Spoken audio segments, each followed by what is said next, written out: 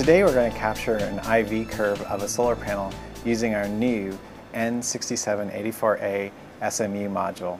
It's a four quadrant power supply and can be used in the 1U high compact system mainframe or it can be used in a bench friendly DC power analyzer. For our demonstration today we've installed the SMU module into channel 1 of the DC power analyzer and we're using channel 2 to power our LED light source. Our LED light source is bright enough to create some photovoltaic energy in our solar panel, which we'll use the SMU module to capture both the voltage and current from. We've written a simple demonstration program to plot our IV curve. We start at zero volts and we make a current measurement from the SMU. We increase the voltage and make a current measurement we continue to do that until we step all the way through our IV curve. From our IV curve, we can make several important measurements. We can capture the short circuit current, which is the true short circuit current. If we tried to make the same measurement with a multimeter, it'd be a little bit low because of the burden voltage of the multimeter. We can also measure the open circuit voltage of the solar panel. We can calculate the fill factor as well as locate the max power point. Now if we dim the light source, we can make another IV trace with lower illumination and we can repeat this.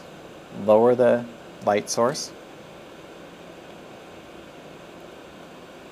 and capture a curve.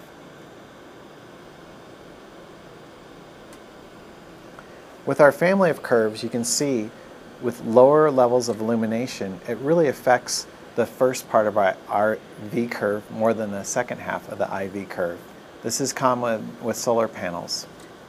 Being that this is a four quadrant power supply, we can actually extend our measurements into the adjacent quadrants.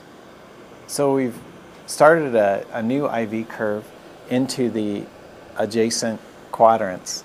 So in the above this axis, the SMU is sinking current. Below this axis, we're sourcing current. Likewise, on this axis, we're sourcing a positive voltage, and on this side of the axis, we're sourcing a negative voltage. So in this particular example, we started with a negative voltage, we slightly increase it, measure the current, and repeat that until we go all the way through our IV curve. Once again, if I dim our light source, we can see that we're tracing the IV curve through three different quadrants of the power supply. The power supply is able to make these transitions from a negative voltage to a positive voltage, from sinking current to sourcing current, glitch free. As you can see, it's easy to capture an IV curve from a solar panel using our new N6784A general purpose module.